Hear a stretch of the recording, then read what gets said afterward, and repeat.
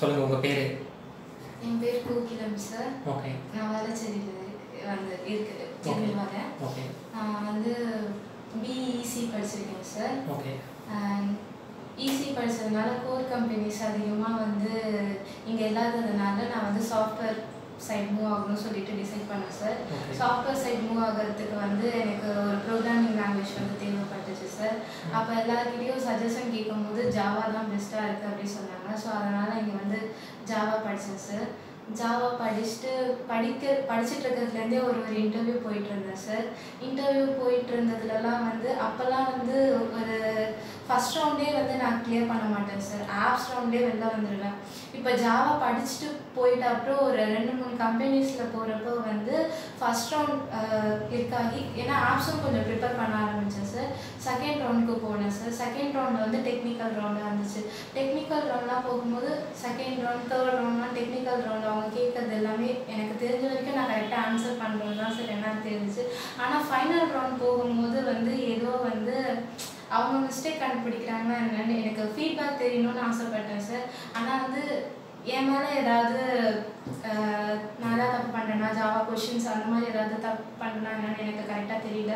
So அப்போ வந்து எனக்கு நான் வந்து ஒரு ஒரு இன்டர்வியூ போயிட்டு வந்து வீட்டில் சொல்லும் போது வந்து அம்மா வந்து எதிர்பார்த்துட்டே இருப்பாங்க. நல்ல விஷயம் சொல்லுவாளா நல்ல விஷயம் சொல்லுவாளான்னு. ஆனால் வந்து ஒரு ஒரு இன்டர்வியூ போகும்போது வந்து ரிசல்ட் சொல்கிறேன் we will call you update you அப்படி தான் சொல்லுவாங்களே தவிர்த்து எதுவுமே வந்து கரெக்டாக சொல்ல மாட்டாங்க சார் சாஃப்ட் ஒன் வந்து செப்டம்பர் ஃபர்ஸ்ட் வீக்கில் போனது சார் ஃபர்ஸ்ட் ரவுண்ட் வந்து ஆப்ஸ் இருந்துச்சு சார் ஆப்ஸ் முடிச்சுட்டு செகண்ட் ரவுண்ட் வந்து ஹெச்ஆர் கிட்ட டெக்னிக்கல் ரவுண்ட் ஃபேஸ் பண்ணேன் சார் அவர் வந்து என்ன சொன்னார்னா வந்து நீங்கள் வந்து எஸ்கியூல ஓரளவுக்கு பேசிக்ஸ் தெரியுது. பட் இந்த பேசிக்ஸ் வச்சு நான் வந்து என்னால் உள்ளே மூவ் பண்ண முடியாது. ஏன்னா வந்து உங்களுக்கு உள்ளே உள்ள டீமுக்கு வந்து தெரியணும் உங்களுக்கு இன்டர்வியூ தெரியுதா? அப்படின்னு சொல்லிட்டு. ஸோ என்னால் எதுவுமே சொல்ல முடியாது அப்படின்னு சொல்லிட்டு தேர்ட் ரவுண்டும் டெக்னிக்கல் சார் ரெண்டு பேர் இருந்தாங்க. அவங்களும் வந்து எஸ்கியூல் குவரிஸ் ஜாவா எல்லாமே எல்லா கொஷினும் கேட்டாங்க. அந் நான் எனக்கு தெரிஞ்சு ஓரளவுக்கு நல்லா தான் அட்டன் பண்ணேன். பட் ஆனால் அவங்க வந்து ரிசல்ட் சொல்கிறேன் அப்படின்னு சொல்லிட்டு சொன்னாங்க. ரிசல்ட்காக வெயிட் பண்ணேன். அதுக்கப்புறம் வேறு வேறு கம்பெனிஸ் அட்டன் பண்ணிகிட்டே இருந்தேன் சார் நடுவில். அப்புறம் ஒரு த்ரீ வீக்ஸ் ஃபோர் வீக் கழிச்சு அந்த ஹெச்ஆர் கால் பண்ணார். கால் பண்ணிவிட்டு இந்த மாதிரி இவங்களை தேர்ட் ரவுண்ட் நான் செலக்ட் பண்ணியிருக்கேன். ஃபைனல் ரவுண்ட் வந்து அட்டன் பண்ணுங்க அப்படின்னு சொல்லிட்டு சொன்னார். ஃபைனல் ரவுண்ட் போய் அட்டன் பண்ணால் ஒரு மேம் வந்து எல்லாமே வந்து செக் பண்ணாங்க சார் அவ் அவங்களும் வந்து எந்த ஃபீட்பேக்கும் போடல. பட் ஆனால் அவங்க ஃபீட்பேக்கில் இப்போ தான் வந்து சாஃப்ட்வேரில் சொன்னாங்க. ஜாவா நாலேஜ் வந்து ரொம்ப நல்லா இருக்கு உங்களுக்கு அப்படின்னு சொல்லிட்டு சொன்னாங்க. எஸ்கியூஎல் எஸ்கியூஎல் வந்து கொஞ்சம் பார்த்துக்க சொன்னாங்க. பெரிஸ்லாம் இன்னும் கொஞ்சம் பார்த்துக்க சொன்னாங்க. மற்றபடி வந்து கம்யூனிகேஷன் கொஞ்சம் இம்ப்ரூவ் பண்ணுங்க அப்படின்னு சொல்லிட்டு சொன்னாங்க. ஏன்னா ஐடி சைட் மூவ் ஆகிறதுனால கிளைண்ட் கிட்டலாம் பேசணும். ஸோ உங்களுக்கு கம்யூனிகேஷன் கொஞ்சம் இம்ப்ரூவ் பண்ணுங்க அப்படின்னு சொல்லிட்டு சொன்னாங்க. அதுக்கப்புறம் இன்னைக்கு தான் வந்து ரெண்டு டெக்னிக்கல் ரவுண்டு அந்த டெக்னிக்கல் ரெண்டு டெக்னிக்கல் ரவுண்டில் ஒரு டெக்னிக்கல் ரவுண்ட் இன்னொன்று வந்து ஹெச்ஆர் ரவுண்டு அந்த ஹெச்ஆர் ரொம்ப கேஷுவலாக பேசினாரு. பயப்படாதீங்க. நாங்கள் எதாக இருந்தாலும் நாங்கள் சொல்லித்தரோம் ஃபஸ்ட்டே வந்து உங்களை வந்து ப்ராஜெக்டில் தான் போடுவோம். ஆன் ப்ராஜெக்ட் ட்ரைனிங்கே கொடுப்போம். ஸோ ஃபீல் பண்ணாதீங்க. நல்லா தான் இருக்கும் அப்படின்னு சொல்லிட்டு சொன்னாங்க சார் இப்போ சாஃப்ட்வேரில் செலக்ட் ஆகிருக்கீங்க எத்தனை கம்பெனி அட்டன் பண்ணியிருப்பீங்க இது வரைக்கும்? பயிலகம் வந்து நான் ஒரு டென் கம்பெனிஸ் அட்டன் பண்ணேன் சார் ஓகே இப்போ எப்படி இந்த ஸ்ட்ரெஸ்ஸை மேனேஜ் பண்ணீங்க? அதாவது இன்டர்வியூ போகிறது வீட்டில் அம்மாட்ட சொல்லிட்டு தான் போவீங்க. அப்போது ஒன்று அம்மாட்ட சொல்லும்போது ஒரு பயம் இருக்கும். சொல்லிட்டு வந்ததுக்கப்புறம் நீங்கள் சொன்ன மாதிரி அம்மாட்ட ஒரு எக்ஸ்பெக்டேஷன் இருக்கும். எங்கள் அம்மா நான் இன்டர்வியூ போயிட்டு ஒரு ரெண்டு மணி நேரத்துலேயே எனக்கு வந்து கால் பண்ணிடுவாங்க சார் என்ன பண்ணுற எப்படி முடிச்சியா? அப்படின்னு சொல்லிட்டு. நான் ஃபஸ்ட் ரவுண்ட் முடிச்சிட்டேன்னா நான் சொல்லிடுவேன் சார் ஒரு அளவுக்கு ஒரு ரெண்டு மூணு லெவல் போகிறப்போ வந்து நான் ரொம்ப கஷ்டப்பட்டது வந்து எஃப்எஸ்எஸ் கம்பெனி சார் ஏன்னா ஃபைனல் ரவுண்ட் வரைக்கும் மூவ் ஆகிட்டு கடைசியில் வந்து அவங்க எதுவுமே சொல்லலை வெயிட்டிங் லிஸ்ட்டில் தான் அப்படின்னு சொன்னாங்க.